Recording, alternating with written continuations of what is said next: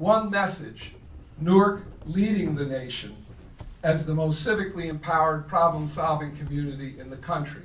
No matter how honest and how smart the mayor is, the superintendent of schools, all of the leaders in Newark are, it's not fair to assume that they have to solve all the problems. And Newark is a beautiful place because it has that civic tradition of rising and taking care of its own. It's about us as people using our power, using our influence to make a change and to make things better for those around us and for ourselves. A civically engaged public is directly tied to economic development.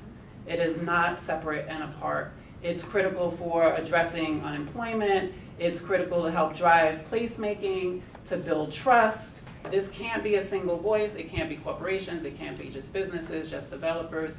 We have to have a civically engaged public that's informing what the placemaking strategies look like, where we're focusing our attention, what the commercial corridors look like, where we're channeling investment. And so this is an opportunity for all of us, the school system, the higher education community, the city of Newark, the residents, to come together and develop some offensive strategy, some real offensive strategy that will help us not only work together, but get the ball downfield.